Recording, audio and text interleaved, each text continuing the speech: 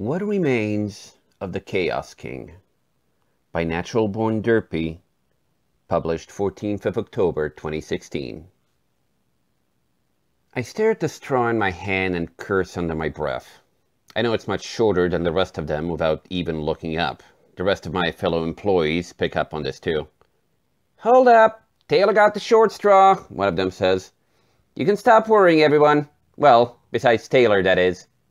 I give that particular employee a lazy, one-sided grin and throw my straw in the trash. Then someone hands me a fat sack of documents alongside a half dozen home-baked muffins sealed tight in a tin.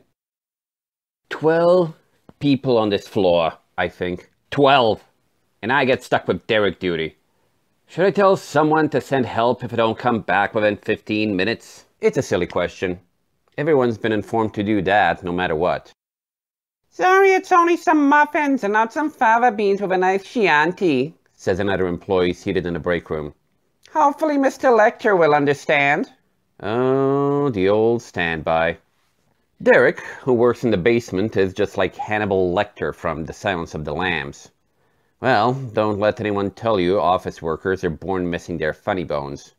Perhaps they're merely broken and chipped and in severe need of repair. Yeah, Soon chirps Susan near the coffee pot, seemingly more energetic than usual given that she normally drinks only decaf.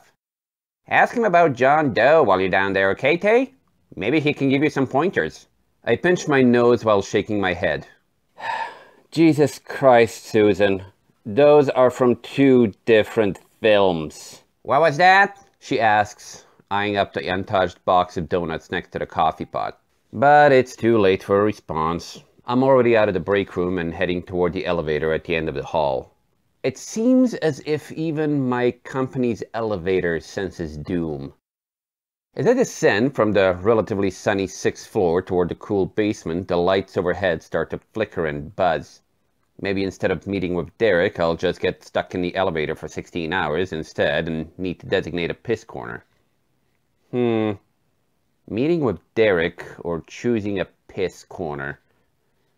Still not sure which option is worse.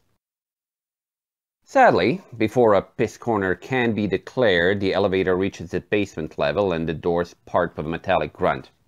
I steel myself and exit. Our company's basement can hardly be called a basement at all, considering it consists of a single long hallway and nothing more. Three locked doors sit on either sides, containing cleaning supplies, unused computers, printers, and anything else in need of immediate storage. Technically, only three types of people ever need venture to the basement. One, anyone part of the building's janitorial staff. Two, anyone unlucky enough to pick shortest straw and be forced to hand things off to Derek or free Derek himself. Only one meter down the hall, and I already am spooked. The sickly yellow lights overhead won't stop flickering, and a faint chill in the air makes itself well known to my thin dress pants and shirt. Of course, neither of these things compared in the slightest to the steadily rising sound pouring out from the final door in the hall. In the town where I was born lived a man who sailed the sea, and he told us of his life in the land of submarines. I surprised myself with a snort. He's back to this old song? I'm not sure why I'm talking to myself. Maybe that's just what people do when they're alone and unnerved. If I wore glasses instead of contact lenses, I'm sure I could start calling myself Velma at any point. Sure could go for a Scooby snack right about now. I think stupidly. We all live in a yellow submarine, yellow submarine, yellow submarine. A few seconds later, the song ends and starts up again without pause. For reasons only known to him, Derek had grown fond of playing the same song on continuous loop for days at a time. He could have worse than taste in music, one could argue. It takes me a sad amount of time, but eventually I reach the end of the hall. Derek's door is shut tight, and a green-tinged light seeps out from the crack at the bottom. On the door is a single strip of duct tape with Derek written on it in fat marker. What's odd is that several letters had been crossed out before his name had been successfully printed. Almost as if he'd forgotten how to spell it or was too busy deciding what name to finally settle on. This line of pondering only adds to the chill in the air. My hand reaches for the knob before pulling back. The last employee that had paid Derek an impromptu visit got much more than they bargained for when they entered without knocking first. Namely, Derek, completely nude and sprawled out on his computer chair. In Derek's defense, he had claimed clothes made him feel overall irritable and itchy. He said back home everyone walked around naked. Hmm. Maybe on the breaches in France, bud. Needless to say, Derek was written up that same day. I finally give the door a quick trio of knocks and hold my breath. For one wonderful moment, I don't believe I'll get an answer in return, so I prepare to about face and return upstairs when, yes, silky and smooth. If velvet had a mouth and could talk. Do I need to explain how to open a door to you? If velvet could insult as well. I shift my few parcels to my other hand and shove inward my jittery nerves replaced by a small amount of adrenaline. If I had to blame anything for that, it would have been my three completely wasted years of college focusing on psychology with a minor in sociology. It was interesting studying people that behaved oddly, went against the grain, if you will. And if anyone went more against the grain than Derek, well, they'd probably be in jail right now, wouldn't they? When I enter, I feel along the wall for a switch. Finding it, I click it and the single light overhead bursts into twitchy life. Derek had been sitting in the dark with only the glow of his computer monitors to let him see, and I'm sure that's just how he likes it. Derek's office is little more than a redesigned closet. 12 feet by 12 feet, there is room enough for his thin wooden desk and little else. Atop that desk is a trio of monitors, the first one showing gameplay for the first Roller Coaster Tycoon. The second one with three smaller windows opened on it playing separate TV shows, films, and cartoons. And the third monitor seemingly reserved for spreadsheets and other work-related items. Derek's work monitor. My attention switches gear and focuses on the man seated at the desk. Luckily for me, he's wearing clothes this time around. Nothing from J.C. Penney, I'm afraid. Instead of shoes, he wears sandals, showcasing the pair of mismatched socks underneath. Above that are shorts much too short for anyone, and above that is what looks like a full-blown Christmas sweater. I'm positive about that last part, though. Rudolph's bright red nose is a clear giveaway. As tempting as it becomes to mention that it's only March, I hold back and remember my mantra at the moment. Get back to the sixth floor as fast as you can. We all live in a yellow submarine, yellow submarine, yellow submarine. The song starts over again. Can you, uh, tone that down for a moment? Derek still hasn't turned away from his row of monitors, but I see enough of him from the reflections. He's thin, almost gaunt. His hair is stark white and messy, perfectly matching the random bits of facial hair left unkempt around his pointed jaw. He has deep bags under his eyes, rarely blinking. I want to say the last time he had a solid nap of any kind might have been around when the housing market crashed. Derek does me one better and cuts the music off completely. And right away, I regret asking him to turn it down. The silence in the room is even worse than the looping song. Do you ever find that one song that seems to speak to you? Directly to you? He asks. He brings a bony finger to his cheek in order to jab it with. I still haven't found it yet, but we're getting closer all the time. I nod along, as if I understand. Like when I first heard the hamster dance. He doesn't laugh. Doesn't even grin, really. Derek just lifts the corner of his lips up, revealing a half row of tiny, heavily coffee-stained teeth. Oh yes, humor, levity, frivolity. I used to know all about that particular business back home. He pauses and his features relax. I seem to have forgotten your name, Mr. Funny Man.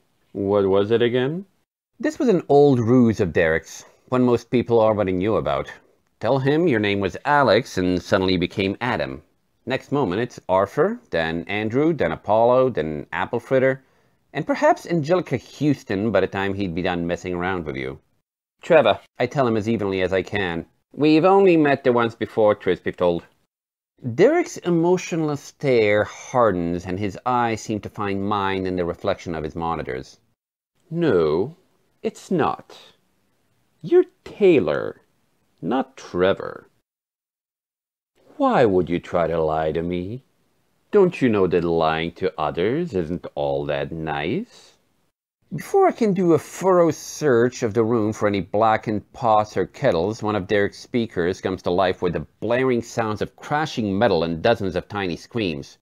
My heart leaps into my chest until I find the origin of the noise. Ha ha ha! Derek turns his attention to the first screen, the one playing Roller Coaster Tycoon. One of the rides inside his park has crashed, claiming a whole 41 imaginary lives. Regardless of that, Derek still cackles like he's being tickled by a feather in the most sensitive of places. Looks like the 41 of you chose rather poorly, didn't you? Seriously? I ask incredulously. This is how you get your jollies? By offing a bunch of digital people in your death trap of an amusement park? Death trap? Derek surprises me by spinning around and finally facing me. His unblinking eyes remain glued to mine like some one-sided staring contest.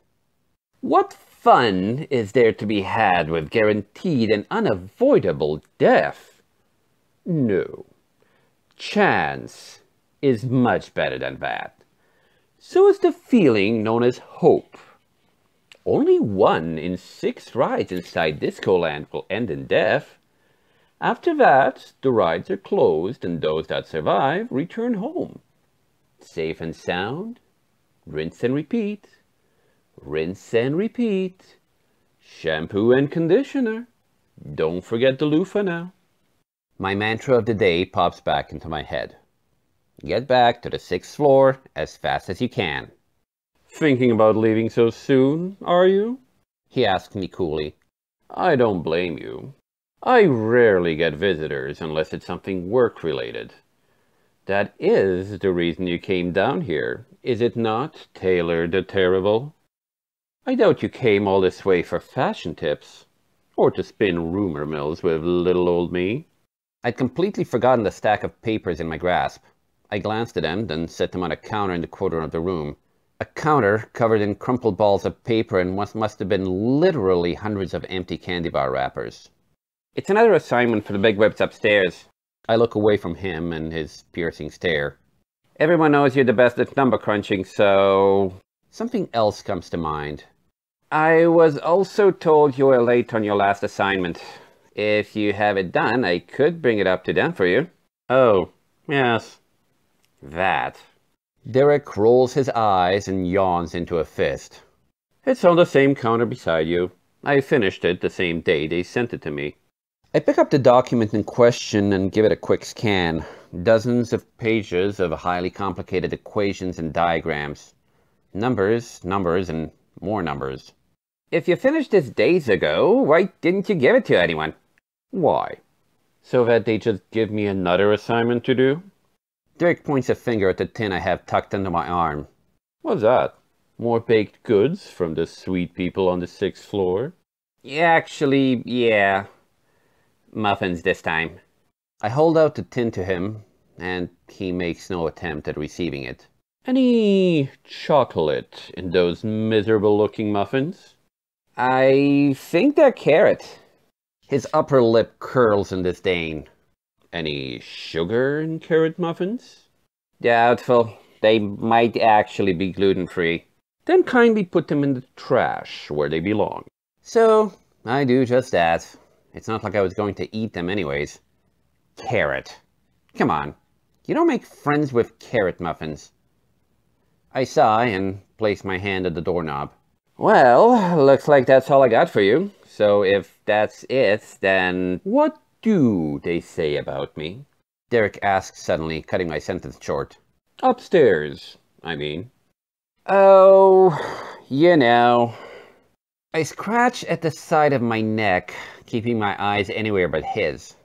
The leaky ceiling, the garbage covered floor, the lone hang in there kitty poster tacked to a wall. That you're quiet, that you keep to yourself, that you're a little eccentric but great with numbers. I attempt to emphasize that last point, like a slice of juicy pickle atop a sandwich made of shit. Derek barks out a single laugh and uses one of his sandal-clad feet to spin himself around.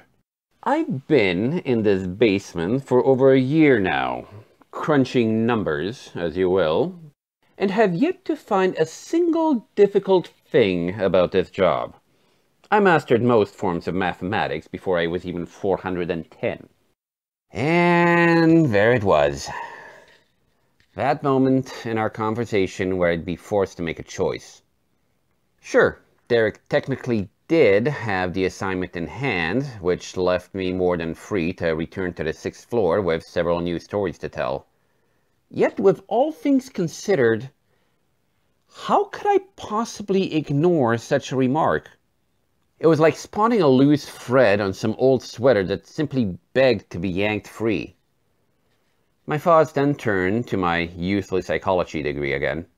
Who's to say this Derek fellow wouldn't make for one best-selling novel sometime down the road?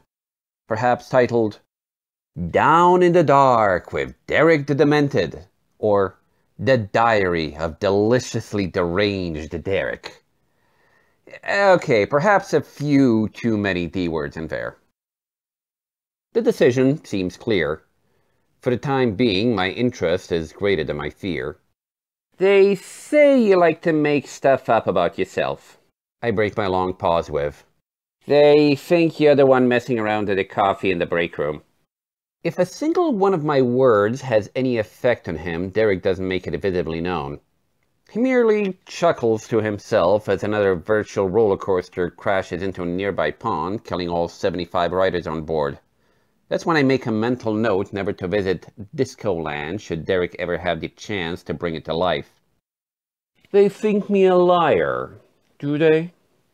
He asks snidely. Well, to be fair, you did just say you were 410. I had you pegged to late 30s at least. I jolt backwards as he whirls his chair around. Did you happen to cram some of those inedible muffins into your ears on your way down here? I said I learned math when I was that age. At this precise moment, I'm 3,112. To this, I say not a word. Truthfully, I have no response to that, besides starting the investigation to see if his shorts were currently on fire and perchance hanging from some nearby telephone wire. Derek runs four fingers through his hair, messing it up even worse than before. He takes a breath and eyes the fingernails on one hand, far longer and claw-like than I would have preferred. He looks up at me with a smile. If the gesture was supposed to alleviate the clear tension in the room, it had the exact opposite effect. At that moment, Derek looked exactly like some hungry little shark that sensed fresh blood in the water. I'll tell you what, Taylor's from the sixth floor. He starts off gamely. How about we cease lying to each other from now on? Hmm? You gave me the wrong name when you first came in here, and I said I was actually much older than I am. So why don't we both speak the absolute truth from here on out? I nod. More of a random jerk than a real nod. Sure. Okay. We can try that. Splendid. Again, with that terrible sneer of his. So, ask away, Mr. Tay. Quid pro quo. I mutter to myself. Derek raises a bushy brow. So is that how everyone thinks of me? As some mediocre film villain that eats others for fun? Not that I'm complaining about being thought of that way. I'm slightly taken aback by that. You've actually seen that movie? I may seem a little eccentric to the likes of you and your fellow colleagues, but I'm not some kind of monster. I do have a Netflix account, same as everyone else. A few moments tick by. I decide to start with the thread Derek so casually left dangling in the air. So, how old are you, in all honesty? Early 40s? 3111. He answers without pause. Then he eyes me for a moment as if curious how I'd react. I make a high-pitched sound in my mouth. You know the one, that noise you make when you glance at the price tag of something you really want to buy but decide against it due to your limited bank account. Like saying, huh, without bothering to open your mouth. Must be one hell of a skin cream you got. His face wrinkles as if he's just smelled something rotten. You're one of those types, aren't you? What dry brand of comedy should I expect from you next? That I'm coming down with a case of the Mondays? Do you really want me to answer that? No, but answer this if you'd be so kind. One of his thin hands traces along the upper sections of his back. The action clearly pains him. Imagine you had a pair of wings. Beautiful, mismatched wings. Buffalo teriyaki? It shoots right out from me, like some uncontrollable verbal diarrhea. I expect something from Derek. A frown, a scowl, a sneer. Anything to show contempt, but instead he snaps his fingers together with his eyes stuck on mine. A pregnant pause follows, and slowly Derek looks down at the hand he'd snapped with. Oh. Right. He looks up again. Imagine you had wings to fly with. Imagine you had more power within yourself than you could ever believe. Imagine that in the course of 24 hours you could destroy an entire world and create a new one in its place without leaking a single drop of sweat. Can you imagine this tailor from the sixth floor having the gifts of a god at your disposal? Sure, I guess. I tell him, even if I don't actually have any clear idea what he's rambling on about. I mean, I think we've all imagined being superheroes at some point in our lives. I rethink what I just said. Or supervillains, or whatever. That last reply gets the tiniest of grins from him. Now imagine having such wonderful abilities stolen from you before becoming trapped in a world not of your own. In a body not your own. So you weren't always human then?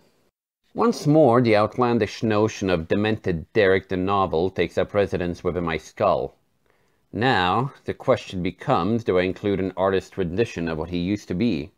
Or do I leave it up to the reader's imagination instead? Then what were you? A wizard of some kind? Derek glances at me with clear pity in his eyes. Such limited creativity such stunted means of thought. I say that I was once not a human, so you picture a human in a cloak with a pointy hat.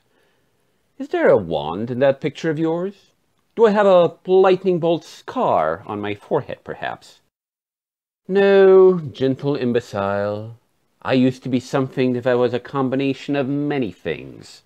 Horse, goat, dragon, eagle, lizard, blood, bone, tissue, flesh. My mind flashes to the upstairs break room's dirty, grease-coated microwave. So you used to be a hot dog? Derek rolls his eyes. Yes, Chaos King, spirit of hot dogs. You sure hit the nail on the head with that one. Chaos King? The term perks my interest. An anarchist, then. You really were a type of villain, weren't you? I pause as I think on that. Not that I'm trying to lump all creepy people together in an evil category or anything. I pause once more, realizing just how terrible this is all starting to sound. I mean, not that I think you're creepy or anything, maybe just quirky? Like an opposite Zooey Deschanel? He rambles, oh, does he ramble. Derek weaves his thin fingers together in what I can only describe as a snake-like motion. What seems normal to the spider is chaos to the fly. I was once a creator of chaos, the best there ever was, if I wish to be so bold. And I only did what I did because it filled a void deep within me. A void that could never, ever be permanently filled. And mostly I did it simply because I wanted to, caring not about the repercussions, however severe they be. His weary eyes float toward the ceiling. Years ago, I controlled the fate of an entire world and guffawed as I went on to let it crumble around me. Nowadays, I get my kicks by changing around the regular and decaf coffee upstairs, sometimes stealing the wet floor signs from the janitor's closet. Big whoop. I knew it! I exclaimed without even knowing I was going to. There'd been a long-running rumor about who was actually messing around with the coffee pots upstairs. Mystery solved, it seems. I really was turning into Velma from Scooby-Doo. Get back to the sixth floor as fast as you can. That mantra from only moments ago. I should be worried. I really should. Stuck in a dark basement with a nutball constantly rambling on about immortality, other worlds, and hot dog creatures. But he's as thin as a rail. I have a good 40 pounds on him should he attack. And his office door is still open with the elevator in plain sight. Is it unnatural to be fascinated by distinctly damaged people? Isn't that why we run towards car crashes and not away? To see the wreckage and be glad it's not us. Watch intervention in the middle of the night with ice cold beer in our hands while we'll tell ourselves, well, at least I'm not that guy. Enough internal musings. Let's learn more about the creature in the basement known as Derek. So, you were brought here against your will? Obviously. Derek replies, drier than unbuttered toast. Were you sent here by another creature like yourself? The word creature feels odd on my tongue, as though I stepped into some terrible sci-fi movie along with all of its corny terms. I'm sure unobtainium will start flying from my lips any second now. Not exactly. Derek elaborates. Oddly enough, you pictured me as a type of wizard at first, but it is exactly the type that trapped me here and unless he's purchased a rather sharp razor since the last time I saw him, he has a large beard as well. He also happens to be a unicorn of the most loathsome variety. I snort. The hits just keep on coming. So you were screwed over by a unicorn. A talking one. One rather skilled in the art of magic and sticking his nose where it didn't belong. Did you try petting him first to help calm him down? Of course! He yells, making me flinch. He balls both hands into fists by the side of his computer chair. But that only works the first handful of times, you see. When they get wise to the powers of your skillful fingers. They start wearing hats and robes and keeping their distance from you. He closes his eyes and slowly shakes his head. He murmurs, more to himself, That blasted mirror. Why didn't I just destroy that stupid thing when I first saw it. I destroyed loads of stuff without thinking about it, turning it to dust, into pudding, into anything else but what it was. A few speckles of spit fly from his mouth. Whatever he's reflecting on must be a rather sore spot. That's when he surprises me by glancing up. I need to play God right now. So you'll have to excuse me while I feed my fish. Well, is all that I manage before Derek spins his chair around and opens the bottom drawer to his desk. I take a step closer to him, finally noting the aroma of stale candy circulating around the thin figure, and find two equal-sized fish bowls tucked inside his desk. In each one is a goldfish, both lazily circling about. Derek mashes his hands together playfully. Time to play! Heat or eat, my fine slippery friends. Who will think of me as a fair god today? Who will curse my name and completely disbelieve my existence? Hate or eat? I think, right before I'm shown the answer. From another drawer, Derek pulls out a small container of fish food, along with a Tabasco sauce bottle.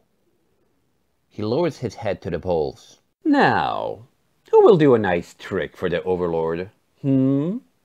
How about you, Goldfinger? No? Goldilocks? You must be getting mighty hungry by this point. And Uncaring of the repercussions, I snatch away the Tabasco sauce bottle and stuff it into one of my pockets. For a moment, Derek only stares at his now empty hand before dumping a chunk of fish food into each bowl before kicking the drawer shut. Looks like it's a merciful God today. Is all he says to that, as another roller coaster bursts into colorful flames and a monitor behind him. You're weird. I feel it needs to be said aloud by this point. Thanks. Derek seems pleased by the insult. Going to report me for keeping fish in my workspace? I shake my head. Nah, that'll just be more work for me. There's like 12 forms to fill out before a complaint can be processed properly. That gets a small smile out of him. Funny. Back in my day, if I had a problem with someone, I would just snap my fingers together and deal with it in less than an eye blink. Things move so slowly around here. Haven't you ever noticed that before? I shrug it off, wanting to get back to our original topic. Before that game of heat or eat, you were mentioning a mirror? And you seem to get pretty heated thinking about that mirror. I wouldn't exactly say heated, considering my body temperature didn't rise a single degree. But yes, you could say I don't like that mirror a whole lot. It's the entire reason I'm here, after all. Derek showcases his yellow teeth again. Clearly, he's thought of something amusing. Here's another question for you, Mr. T. Say you had complete control over all of Earth. Say you grow bored with it one day. Then, let's say that soon afterwards, a particular individual tells you about another world. A completely untouched world. Perhaps it's Mars, or Venus, or something of the like. A world ready to be conquered and ruled. I furrow my brows. This individual wouldn't happen to be that bearded unicorn you mentioned earlier, does he? Star Swirl. But let's call him Swirly for the time being. he takes a breath. So, this individual, Swirly, tells you that this entire new world can be yours and all you have to do is go there. Leave his world alone and you can have a brand new one just like that. He even has a magic mirror that'll take you there. What he fails to mention is that this particular trip is one way only, and yet your vast amounts of magic will not be coming with you. So you were tricked. I simplify. By a talking unicorn with a magic mirror. Have you ever tried selling this story to Disney? Again, Derek turns one of his hands over and stares at it, rubbing two fingers and a thumb together. Before I arrived here, one snap of these bad boys and your guts would end up as my new wallpaper. One snap and this building would flip upside down, spinning so fast it would reach China in a fortnight. And now? He looks away from his fingers to focus on the lone light bulb hanging above the door. Derek snaps his fingers together. Nothing happens. He does it again to much the same effect. Is something supposed to... Shut up and let me concentrate! He barks out, clenching his jaws tight while he snaps his finger another four times in a row. On the last one, the light on the wall flickers a single time before humming along as normal. Only when that finally happens does Derek let out a breath and lean back in his chair. See? He says happily. There's still some magic in these old fingers of mine. It took 77 years, but I know it's coming back. Slowly but surely. Every day, a little bit more. I look from him to the light bulb above the door, the one that has now flickered twice more since Derek stopped snapping his fingers together. See what? The wiring's atrocious down here. The lights flicker on and off all the time. Derek frowns and crosses his arms. You could have at least humored me, you jerk-faced jerk. What are you planning on eating for lunch today, hmm? A whole plate full of jerky? Should I feel bad at this moment, not believing this basement dweller's delusional ramblings? Unicorns, magic mirrors, chaos fingers? It's odd, but I sort of do in a way. A very small way, mind you. So, this mirror is basically a portal, I say. And what's stopping you from going back to this Mars, Venus, magical unicorn world? Equestria. I chuckle. Oh, hoist terms. You came prepared. Because the mirror will destroy the moment I was sent through it, obviously. There's a hint of edge to his tone now, like he's embarrassed how it all turned out for him. I'm not sure when a return trip will be possible, but if I had to guess, it'll be about a thousand years from when I was first shoved through. One thousand years seems to be the number of choice where I come from. Then he laughs like a child that's just watched another child flip over the handlebars of their bike. But perhaps I'm forgetting the most important part. The real reason why it's not wise to trick a Draconequus. More hoist terms. I like. But I thought you were a hot dog god? Derek ignores me. He appears close to drooling now. Right as I realized Swirly's true plan, I made sure to use that last bit of magic to place a curse on him. Should I perhaps been thinking of self-preservation instead? Probably. But revenge is just so much fun. What did I do to him? He finishes for me without pause. As I told you, I cursed him. Cursed him hard. Swirly will never die. Not unless I am the one that kills him. As an immortal being, my mind is more than strong enough to deal with the harsh rigors of countless millennia of time to kill. But his? He was meant to die by 110 at best. But immortals like me? To put it simply, my brain will never snap. Not completely, at least. Mm. You sure about that? I blurt out once more. It's difficult when he sets it up so damn easy. Derek snaps his fingers again, and I more than flinch when the door to his office slams shut. Without the dull hum from the flickering lights out in the hallway, the silence in the room only grows. I feel my chest heaving. Is that the beginning of sweat on my temples? My mind whirls for a moment. You can't just snap your fingers and things magically happen, right? Right? Have I got your attention, Taylor? Derek asks tentatively. From behind his back, he pulls out a small remote control with a single button. He stands momentarily to open his office door again before pressing the button on the remote. The door closes. A remote control? There's a small quiver in my voice.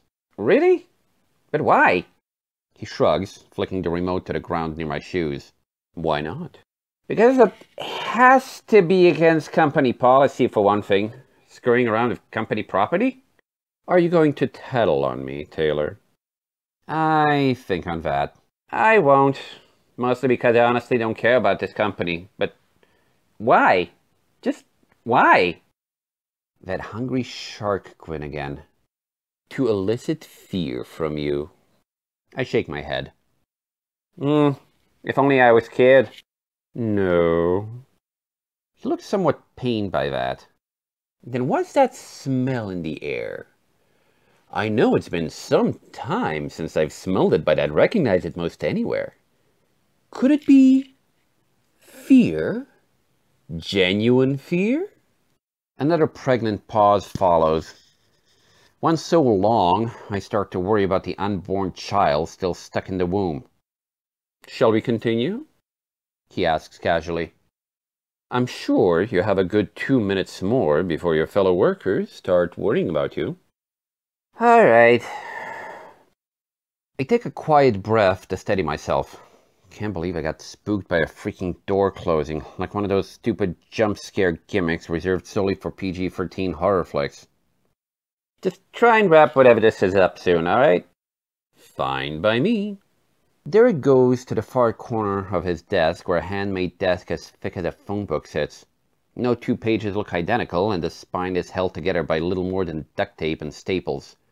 Without warning, he lobs it at me, and I manage to catch it after it bounces off my chest, almost knocking the wind out of me. Maybe a little warning next time? I squeak out once I get some air back. Who says there'll even be a next time? Do most people throw things at you without warning? I get a hand under the thick book and flip to the first page, trying my best to keep all the pieces from tumbling to the floor. The writing inside is a mixture of both printed and handwritten pages. There are even a few doodles around the edges, of grey unicorns and dragon monsters mostly. I scan the very first line. 1. Tell him he's been a bad pony. Then I scan the next. 2. Tell him he's been a very bad pony. Finally, after reading another dozen or so entries, I glance up. These are about Swirly, aren't they? Derek nods. You take it correctly.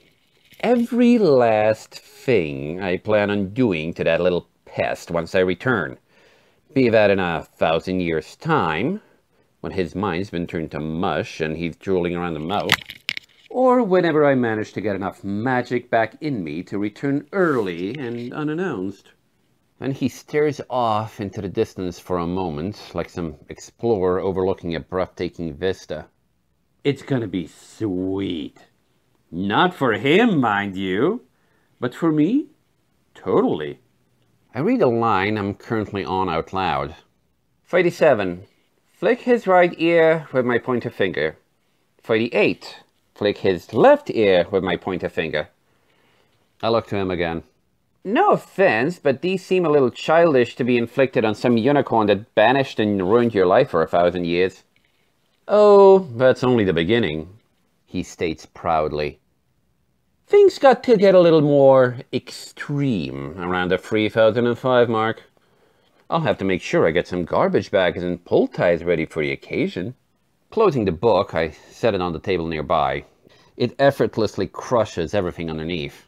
So, that's it? I ask. That's the whole story? Derek purses his lips. It's the same story I've been telling just about anyone that'll listen. And yet you all seem to have me pegged as some creepy lying weirdo that just so happens to have an amazing sense of fashion. I pause to run my hand through my hair. Don't know if you happen to notice, Bud, but you're not exactly king of the castle right now. At the moment, you're literally stuck in a basement with no windows, crunching numbers for jackasses that make six times as much as you do. Why not become the next CEO if you're so damn smart? The next president, why not? You said before that you wanted to conquer all of Earth, right? Derek narrows his tired eyes until they're nearly slits. And why would I want to work so hard for so little? I can't take a million dollar mansion back home now, can I? Try setting that for a mirror. And president? They don't just let rambling sociopaths into the White House. He shakes his head as slowly as he can. No, Taylor from the sixth floor. I'm merely biding my time right now. At this very moment, I'm serving a rather stiff thousand-year sentence. And so far, I've been here for less than 10% of that. Oh, I'm sure things will occur. Events will transpire like they always do. He again eyes up the light bulb above the door. But for now, let's just say I'm taking things easy. Having a little relaxing vacation. Don't good things come to those who wait and all that hallmark crap? I don't have any good answer to that. At that moment, I just feel tired and want coffee. Hopefully back upstairs where I can brew a fresh pot. One that I know won't be decaf. I turned towards the door. Just don't forget the assignment, okay? They want it by the 4th, earlier if you can. Of course. He answers at once, swinging his chair back around to face his trio of monitors. He clicks on the middle one, enlarging a cartoon I don't recognize. He stares at his thin fingers again. Bye, then. I open the door an inch and Derek snaps his fingers together, causing the knob to whip out from my grasp and for the door to slam shut. I sigh, more annoyed than anything when I remember the remote control he set up. Only to find it still on the floor and nowhere close to him. A second remote? I ask. There's nothing on his desk and even near his hands that looks like a remote. Maybe he has something on his computer? Whatever helps you sleep at night, Taylor. I grab the knob again and hold it firm, half expecting it to slam shut again. It doesn't, but before I exit Derek's damp and dark office, he turns to me once last time with an oddly honest question. Do I scare you? Tell me that I do. I sigh. Choi, you're a pretty scary dude, Derek. Thanks. It's still nice to hear that every now and then. He pauses. You want to smoke some pot after work on the roof? I take the time to ponder that, and the phrase hedge one's bets comes to mind. Then I wonder if it's in my best interest to be on the good side of a potential Chaos King. The answer seems clear enough to me. Derek smiles one last time before I leave. Wonderful. I'll make sure to bring the appropriate music. Then the door slams shut behind me and the song starts up again.